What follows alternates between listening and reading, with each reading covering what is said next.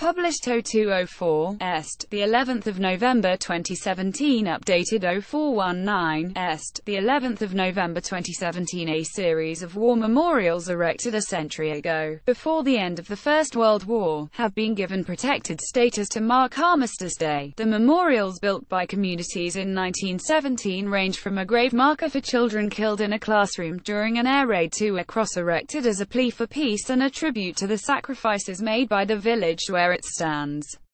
Eight memorials reaching their century this year have been given Grade 2 listed status by the government on the advice of heritage agency Historic England as the UK marks Armistice Day. And an obelisk marking the site of a hospital for Indian troops has had its Grade 2 listing updated to Y reflect its historical importance.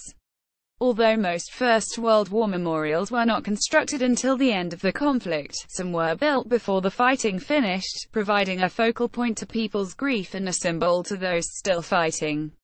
Culture Secretary Karen Bradley said our local war memorials act as a permanent reminder of the lasting effects the First World War had on communities across the UK and the bravery of those who served. Duncan Wilson, chief executive of Historic England, said these memorials were an important indicator of society's attitude as the war progressed and as the loss of life increased to unprecedented levels.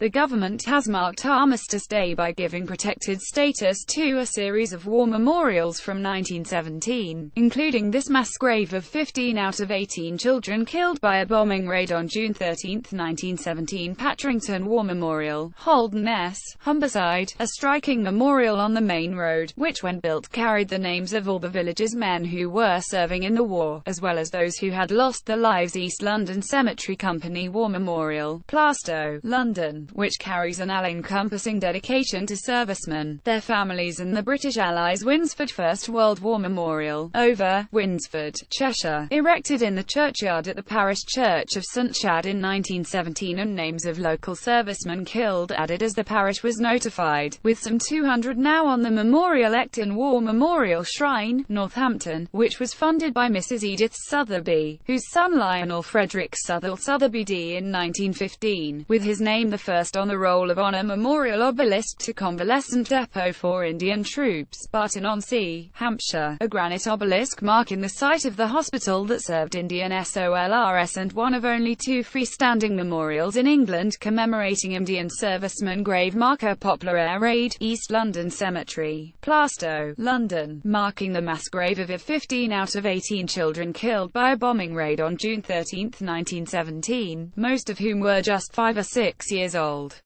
East London Cemetery Company War Memorial, Plaistow, London, which carries an all-encompassing dedication to servicemen, their families and the British Allies. Amington Cemetery War Memorial, Tamworth, Staffordshire, presented by a local businessman whose son had been reported missing, but returned home at the end of the war, having been a prisoner in Germany. Burton and Wirral Peace Cross, Cheshire, which was not erected to commemorate fallen servicemen by name but as a plea for peace and a tribute to the sacrifices made by the village during the conflict. Ecton War Memorial Shrine, Northampton, which was funded by Mrs. Edith Sotheby, whose son Lionel Frederick Southwell Sotheby D in 1915, with his name the first on the Roll of Honour. Patrington War Memorial, Holderness, Humberside a striking memorial on the main road, which when built carried the names of all the village's men who were serving in the war, as well as those who had lost their lives.